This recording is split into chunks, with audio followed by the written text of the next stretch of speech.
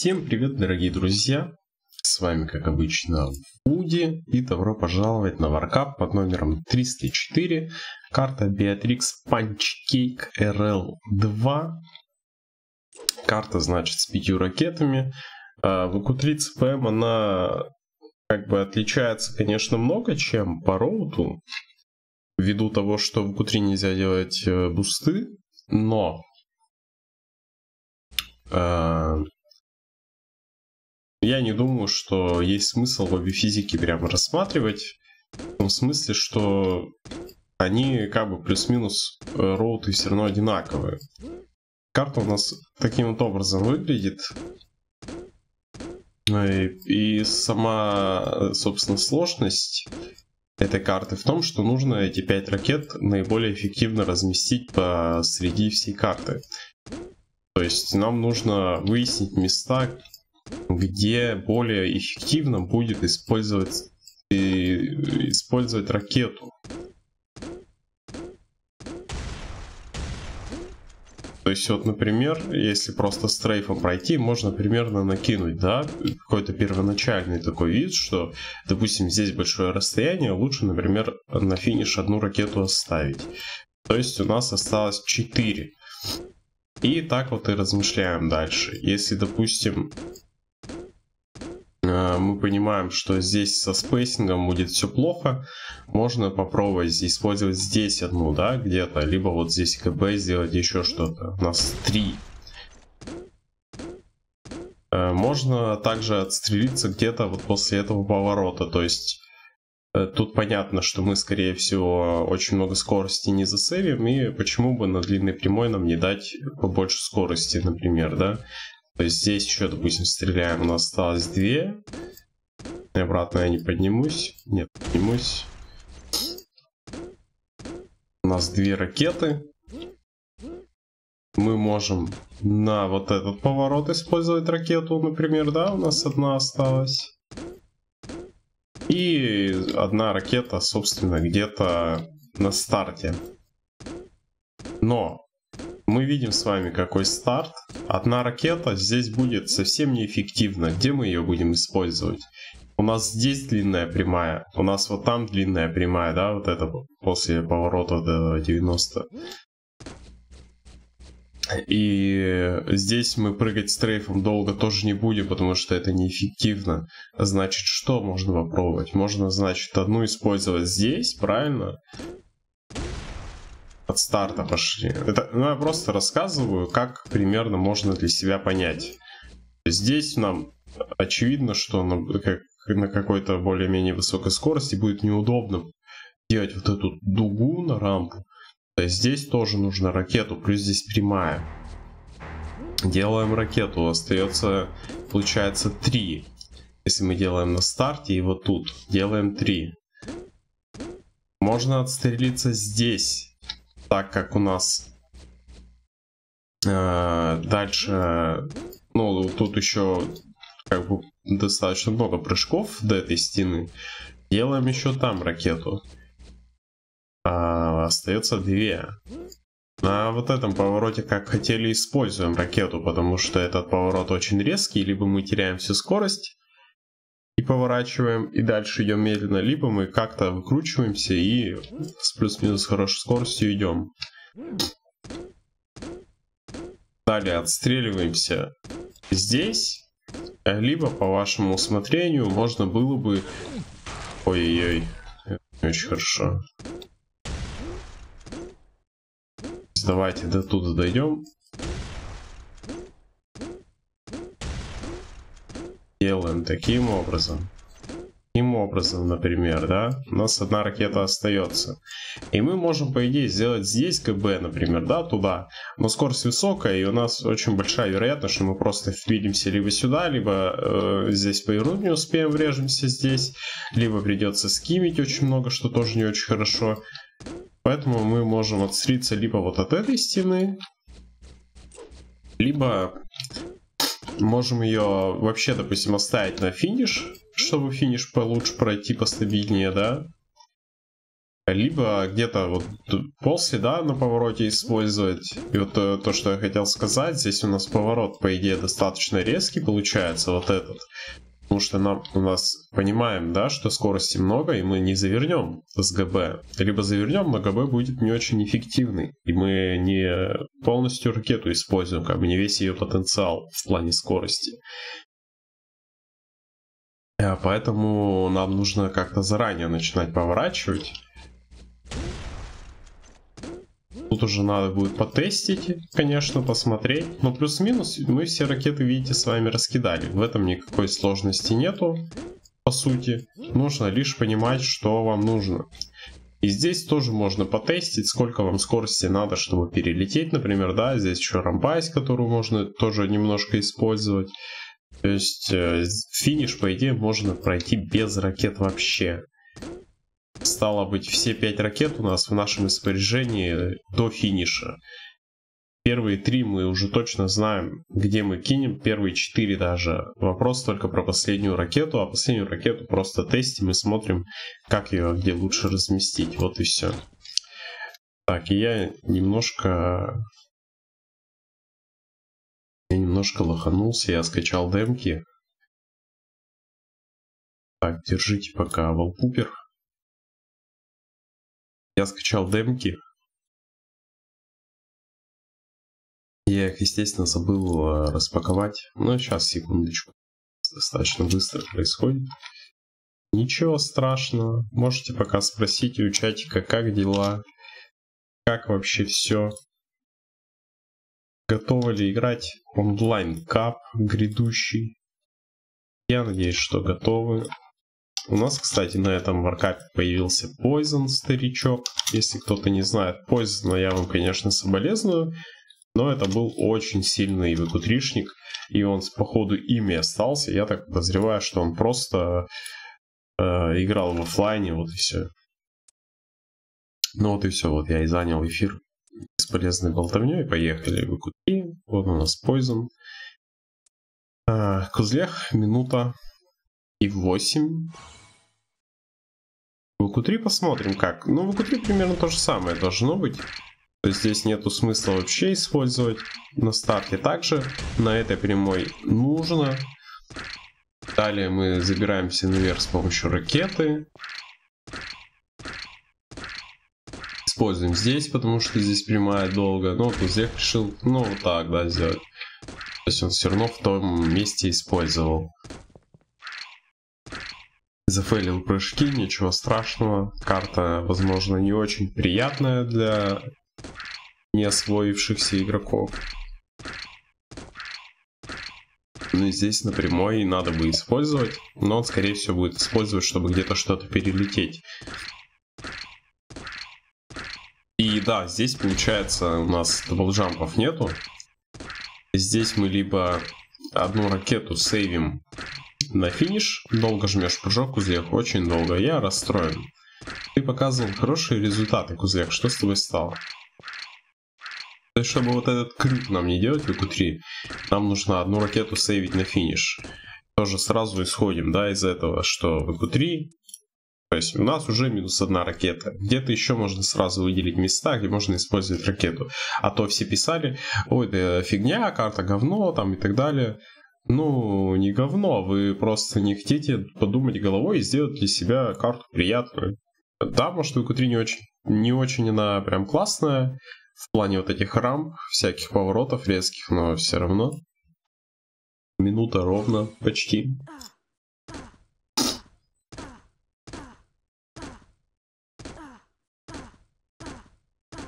Вообще, видите, не использует ракеты и так сойдет. Здесь на подъем такой вариант тоже, конечно, имеет место быть. То есть в EQ3 другие проблемные моменты, в отличие от CPM, хотя они могут совпадать иногда.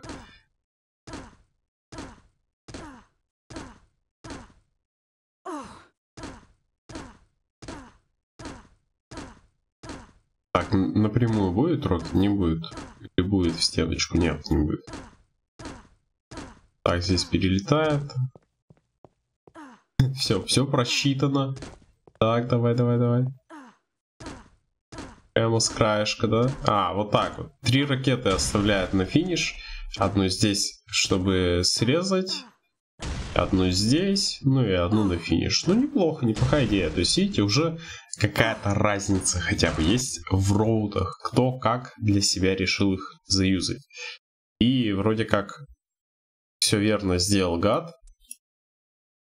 Что получается, две ракеты надо на финиш, как минимум. Если только не пропрыгать хорошо с трейфом. А, так, 57 ковид. И блок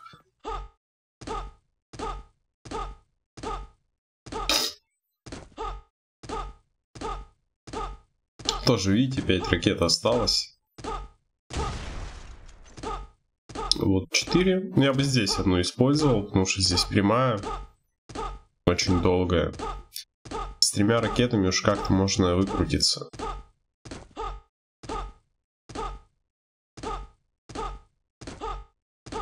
Нам, по идее, две надо на финиш. Здесь бы я использовал тоже. У нас бы осталось две, да, вот как раз. И с трафиком мы вот сюда вот тоже срулили. Хотя лучше не надо. ИРЖ. ИРЖ. Так, три, три ракеты надо, да, там. На финиш. Ну, интересно, интересно. Получается, ВК-3 больше стрейфовое начало, по идее. Либо стрейфовая середина, либо стрейфовое что-нибудь. Керф 57.5. Sorry, Kev, I just woke up. And uh, if you're watching, I'll try to speak English.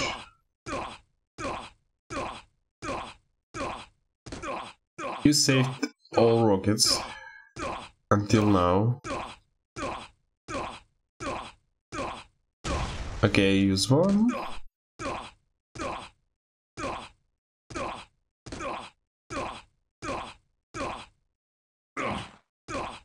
not really good optimized uh, strafe road. So I think you need to work. Uh, you need to think about it.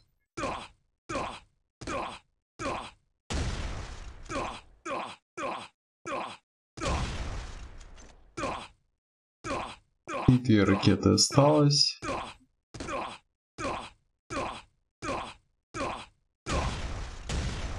Alright, alright. Not bad, not bad. Mm, but rockets can be could be placed better. Ксиличан 57.5. Что-то нос заложило вообще капец, ребят.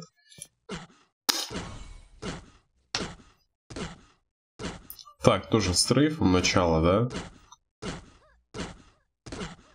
Ну, возможно, так эффективно и всего. То есть большинство пока что стрейфят начало. Здесь пока ракету никто не кидает. Ну вот эта ракета, она не очень эффективная, потому что здесь мы с нуля начинаем прыгать. И это минус, как бы. Где это минус? Надо избегать по возможности таких моментов, где мы начинаем прыгать с нуля. Особенно в Q3. Долго жмешь прыжок, хулиган. И ты пушки не меняешь. Минус уважения.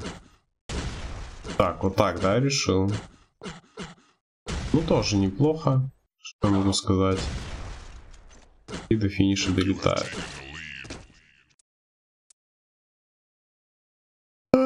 Максвелл. СПБ. Тот, чью демку забанили за непонятно что на одном из прошлых варкапов с плазмой.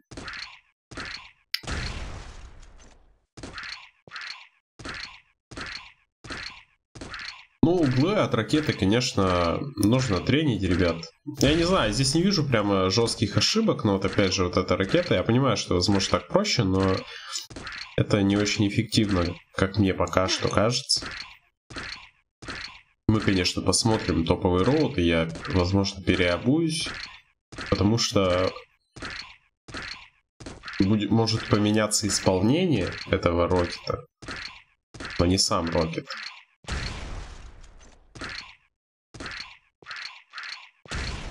Ну, три ракеты на финиш, походу, самое эффективное.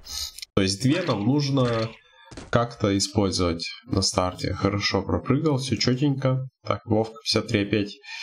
Э, 53,5 опять. Вовка больше старался в q 3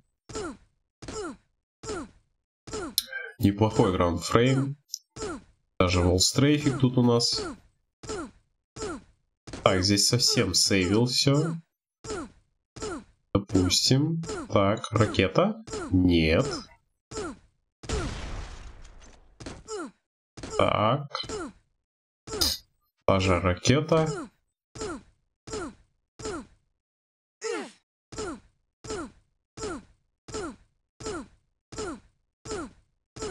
Чуть не заскимил, заскимил бы рип. Так. Раз. Два. Ой-ой-ой, как, как долгий поворот. Ну, лучше сделать, конечно, circle. Ну, какой-то плюс-минус, да, либо там граундфреймами довернуть.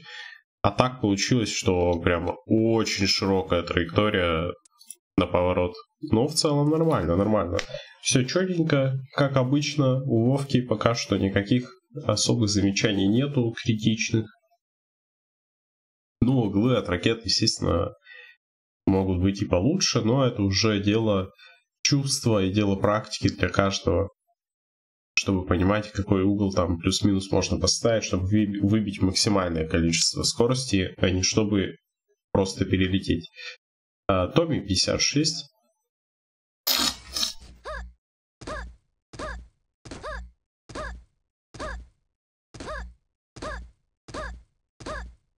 Ну вот, походу, есть у нас рисунок, да, как проходится. Здесь граундфрейм. Ракета будет в эту стену или нет? Вы здесь начинаете прыгать с нуля.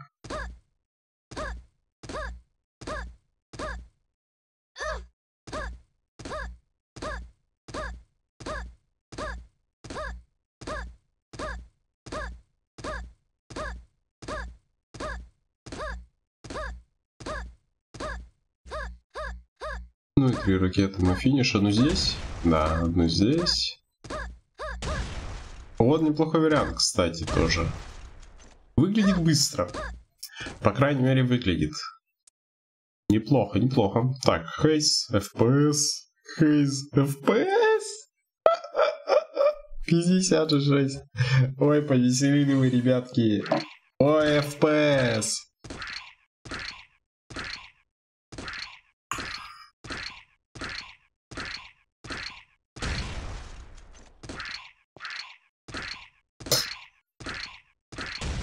Вот.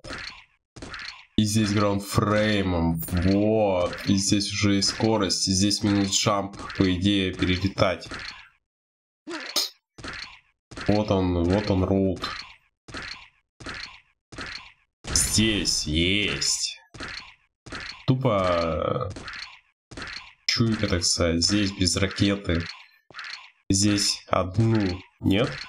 А, ну две осталось. Стало быть, на перелет ям. Но немножко по стрейфу слабенько, конечно.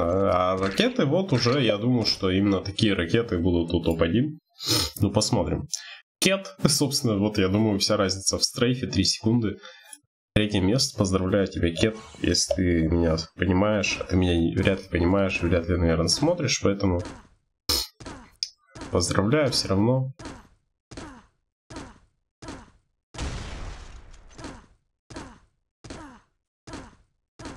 Так. Сейвит. Сейвит Рокет. Нет, не сейвит, но... М ну, здесь стрейфом, конечно, затащил, да? Ну, по крайней мере, нет стены. Так, вот эта ракета появилась у нас. Она была, да, у Хейса. И две ракеты, собственно, я думаю, что он их использует так же, как Хейс. Не прыгал до конца, просто сделал граунд фрейм, что более, как бы... Более выгодно. 47,1. У Кета в оффлайне 47,9. Ой, в онлайне. Он еще в оффлайне ее играл. Нифига. 46,8. Темфекс как я понял. А, не, push the подождите-ка. Кто это? Это же тот молодой человек, который по-русски понимает из Америки. Хорошие граундфреймы. А, ракета. Ну вот здесь, мне кажется, это, это лишние прыжки. По идее, можно быстрее, если кинуть ее там об стену. Но тоже по стрейфу здесь на, рам, на краешек рампы попал, что позволяет ему набрать больше скорости. Хороший граундфрейм. Хороший граундфрейм. Три ракеты осталось, и вот здесь он перелетает, да? Но здесь вот скорости, видите, поменьше. 1200. Тоненько, конечно, в q 3 тоненько, не знаю. Очень спорно на самом деле, потому что...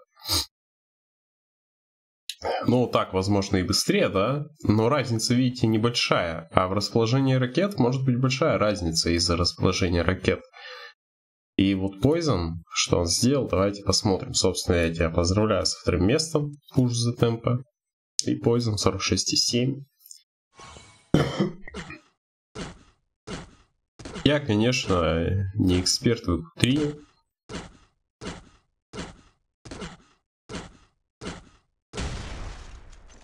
Ну, здесь плюс-минус у всех все одинаково.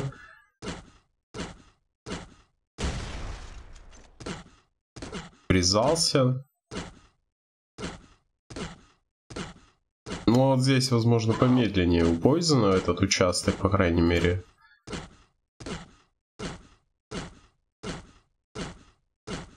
Смотрим, что там дальше.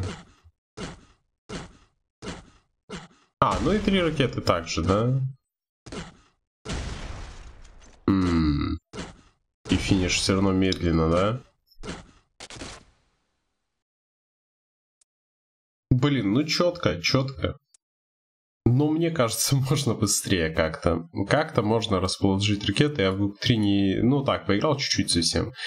ЦПМ я, если у меня с пузом чем-то отличается, я, естественно, ЦПМ покажу свою. У меня, я не помню, там 23.2, что ли, что-то того, или 23.4. Так, 44.2 кузлех. Давайте ЦПМ. Посмотрим.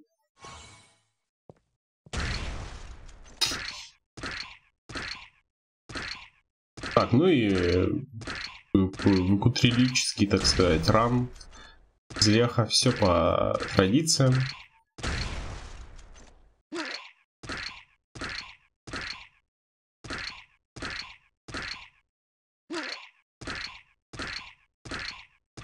Ну, кнопочкой вперед поворачивать, это, конечно, такое.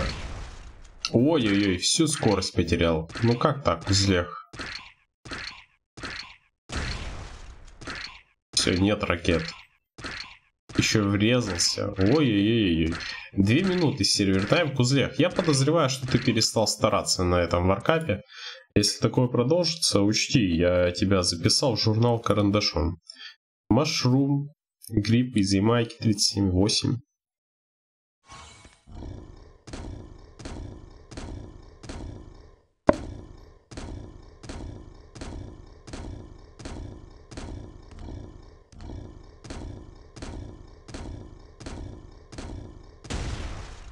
Ну, стрейф не очень. Можно сказать, что стрейф бесполезный. Отчасти. Я чуть-чуть пытается добирать, да, как бы, но... Лишь бы это не мешало исполнению, вот в чем вопрос.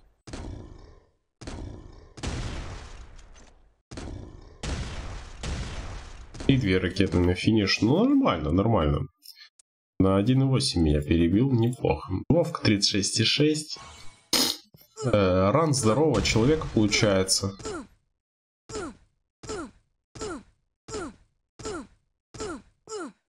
И 4 ракеты здесь пока остается. Так, на поворот не будет. Просто стрейфом. Просто стрейфом. 4 ракеты все еще. Ой, потерял скорость. Или специально. Так. Выстрелил 1400, потерял до 1200. И снова перед финишем потерял, еще одна ракета осталась. Ну, видно, что Вовка вообще не постарался ЦПМ, зато постарался в Q3. Ничего страшного, что посылать в обе физики, чтобы получить, так сказать, набрать классы, рано или поздно это приведет к тому, что в рейтинг будешь получать минус. Ну, это я всем говорю, если что. Так, Тревор... Тревор Никелс. Тревор Никелс. Ладно.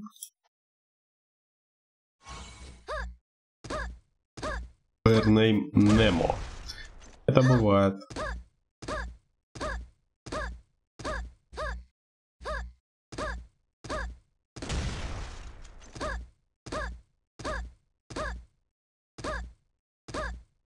Повороты только кнопкой вперед. Сразу отмечаем. Я, кстати, вроде планирую записать ролик коротенький, как поворачивать кнопками стрейфа. Три ракеты осталось на финише. Как ни странно, у него кнопка вперед все очень даже неплохо получилось на этой карте. Но поздравляю тебя, наверняка ты очень много времени потратил. Так, Ж ЖКСУ 35,3. Может это Жека Су? Типа Су это может часть фамилии? Или там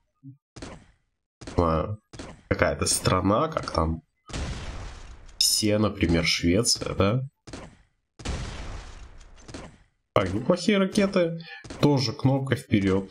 Тоже все кнопка вперед. Это не, очень эффективно. Это вообще не эффективно. Ну, подстрейфливает плюс-минус хорошо.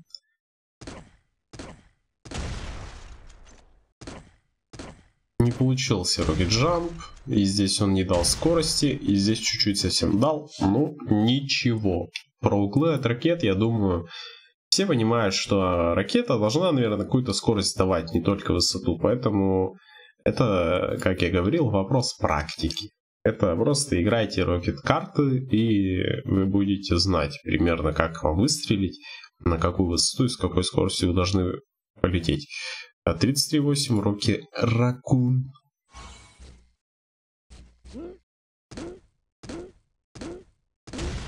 Интересный старт.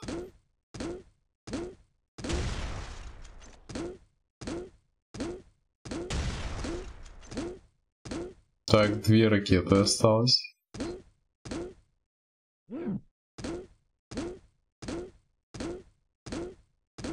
Ну, на финише их, наверное, заюзает. Ну, эта ракета совсем бесполезная была. Ну, это тоже, ну... Ну, что ж такое-то, а? Ну, что ж такое? Так, ну чуть совсем перебил T9 Unseen, 33,8. Ну, ты пытался, ты пытался. Circle Jump э, это тоже, знаешь, не, не самое легкое в игре.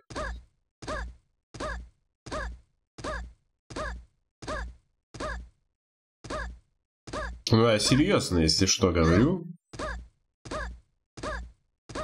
Я вообще никогда не шучу.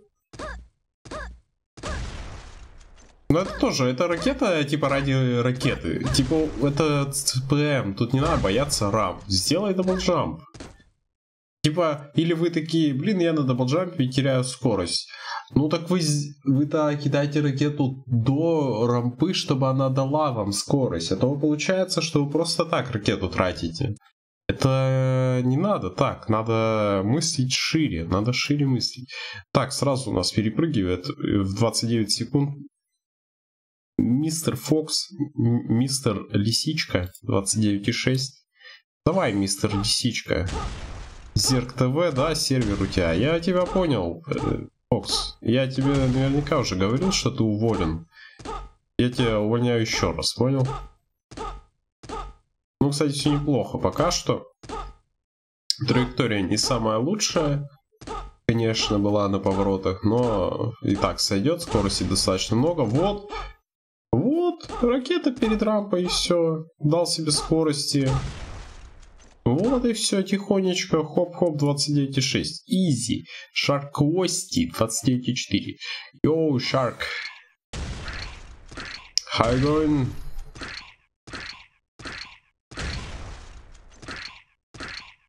Nice, nice route.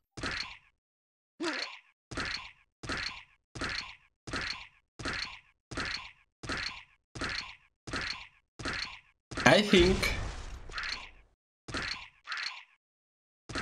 Okay, just let me uh, let me know if you find these rockets by yourself and write me anywhere.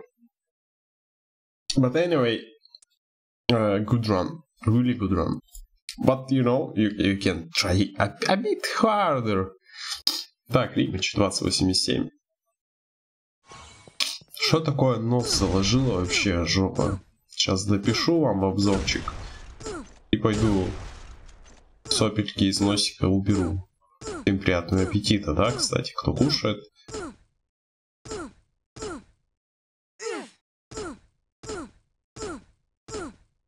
Может я умираю, ребят, я уже так давно болею. Никто из вас не думал? Блин, нормально, Римич, быстро, финиш очень быстрый. Вообще нормасик. Хорош. Хулиган 28,5.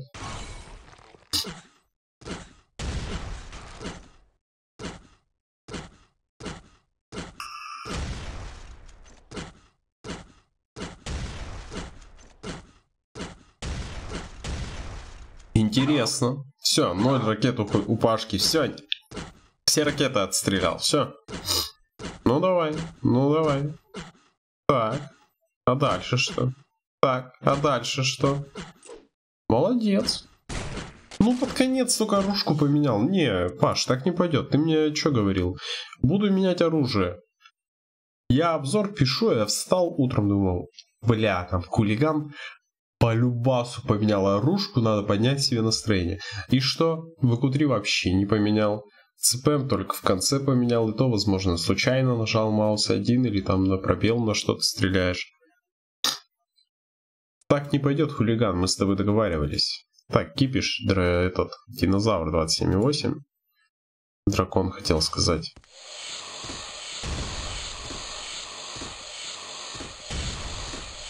Кипиш, найди себе модельку нормальную, пожалуйста. Я понимаю, что ты, возможно, играешь без звука. Тем более смени. Неплохие ракеты, правда, потерял под себяшечки. Нормально, нормально. Хорошее, хорошее расположение ракет. Так, стиза. Помню, был такой однажды человек 276. Белорус.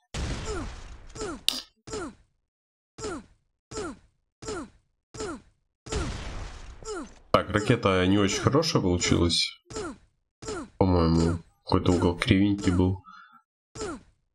Пока, в принципе, все неплохо. Три ракеты осталось. О, воу, воу, воу, воу, воу.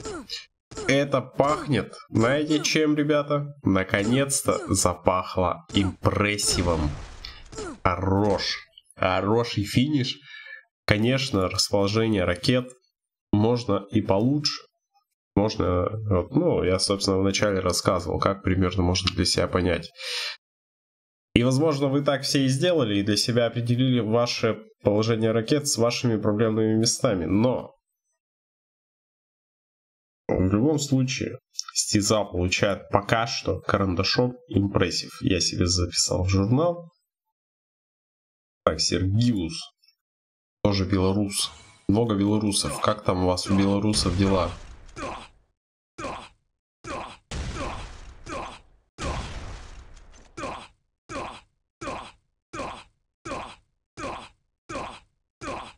Лагает, да? Как будто демка. Как не в 125, а в 100 FPS прыгает.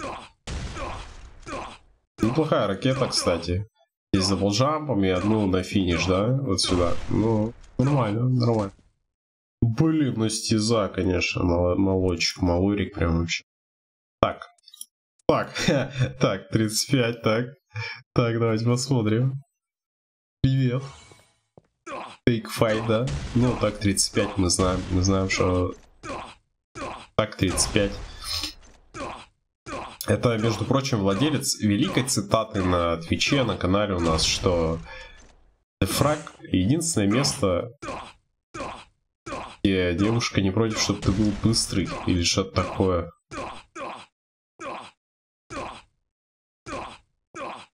И про чербанцы, по-моему, тоже так 35 нам сделал, насколько я помню. Может, кто-то другой, но я не знаю. Ну, в общем-то, привет, нормально, все у тебя хорошо. Не знаю, ну, типа, я, честно говоря, подустал одно, одно и то же каждому говорить, поэтому давайте будем исключительные моменты оговаривать. Привет, Гмук. Я не знаю как, но это так. Нормально. GT, GT Mug.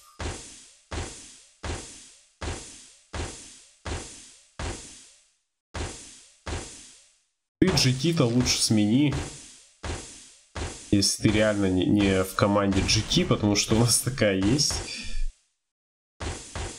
Нормально расположение ракет, только вот на финише эти две ракеты не нужны. Здесь тоже, тоже видите момент, типа на финише вы вторую ракету прямо перед финишем уже пускаете, чтобы пролететь с большей скоростью какой-то очень короткий участок времени. Это невыгодно. Нужно ее использовать там, где ты будешь прыгать со скоростью достаточно долго. ЦПМ такой принцип, в принципе. Понятно, что от VQ3 еще от карты много все зависит, да и в CPM тоже, но э, в принципе там делать какую-то ракету перед финишем, перед самым, это не очень выгодно, если только у вас не 200 ракет, и вы там спамите в стену или просто, просто чтобы была стреляете, например. 26,2 не ларва.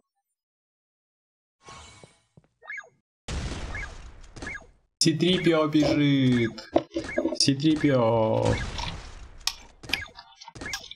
Ситрипио бежит.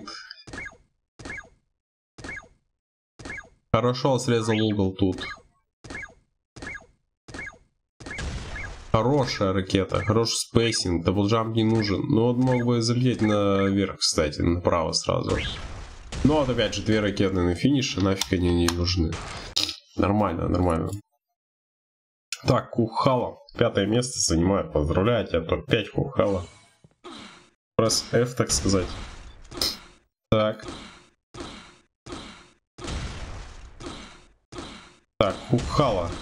Где-то я видел этот роут. Честно говоря. А вот. Где-то я видел этот роут Кухала. Нормально, нормально, хорошо исполнил, красиво. Так, манда Ирины. Ну, сейчас мы запротектим. Прокипоп, ну, конечно, прокипоп. Ну, мы не зерк, мы не будем тебя банить за мат в нике, так сказать. Потому что нас смотрят дети.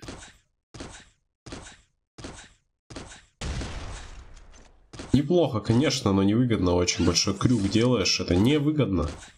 Ракипоп, ты должен понимать. А ракеты-то хорошие, безусловно. И здесь-то double jump не очень выгодный. Ну, кстати... Ну, ты одну, получается, на финиш, да, оставил? Угу. А где ты не использовал? Ну ладно. Короче, медленно прокипоп. Так, Зорн, третье место. Поздравляю тебя, Зорн, 24-24-0.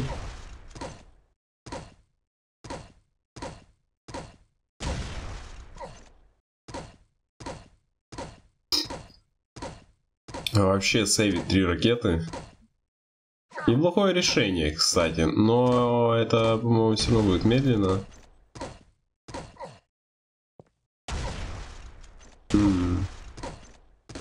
Блин, нормальный финиш на самом деле. Вот, вот, хорошее расположение ракет, реально отличное. Реализовать чуть получше. И можно, наверное, меня перебить этим роутом. Я не уверен. Это не точно, потому что что-то он вроде все нормально сделал, а что у него разница почти, ну не почти, но 800, да, с пузом. Ну ладно, 23.8 FPS хейс. Все-таки, наверное, выгоднее э, использовать максимальное количество ракет там, где как бы, э, ну, где-то на старте, в общем, да.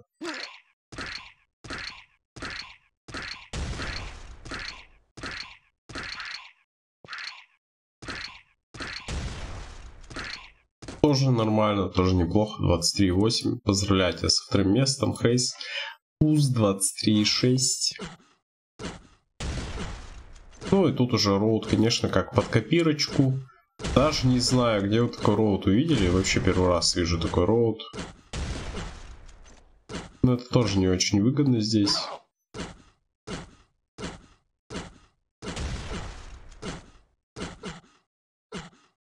Ну, Рокет можно было пораньше дать, конечно, 23.6. Блин, ну классно, классные демки, конечно. Стиза получает у нас... Э, так, у меня 23,4. Ну, разница сколько там, в 200, да? Не будем смотреть тогда, нет смысла в этом. Я вам скажу просто, что нужно 22. Нужно 22, можно эти 400 выпилить, и все будет хорошо. Так. Э, так, Any Виндов я не помню, как ставить impressive, я его поставлю отдельно после обзора сразу, если не забуду. Если я забуду, напишите мне в Дискорде, что Вуди, поставь impressive стезе, он заслужил. А он заслужил, стеза красавчик. Ну, вот такие вот результаты. 22 демки ЦПМ, 12 ВК3. И регайтесь на ВК3 Плазма онлайн кап, если кто еще не в курсе. Или, если кто в курсе, то добро пожаловать 1 ноября, так сказать, на просмотр на канал Defrag Life, то есть twitch.tv slash defraglife. Именно там будет проходить трансляция. И э, если все пройдет нормально, то, возможно, этот канал Defrag Life станет официальным каналом таких мероприятий. То есть я буду просто отдельно стримить у себя свои, да, какие-то там эти движухи, а какие-то дефрагерские именно мероприятия мы будем стримить там. Но это еще поживем, увидим. Пока ничего не ясно. В общем-то, все, ребят. Всем удачи, всем спасибо и всем пока.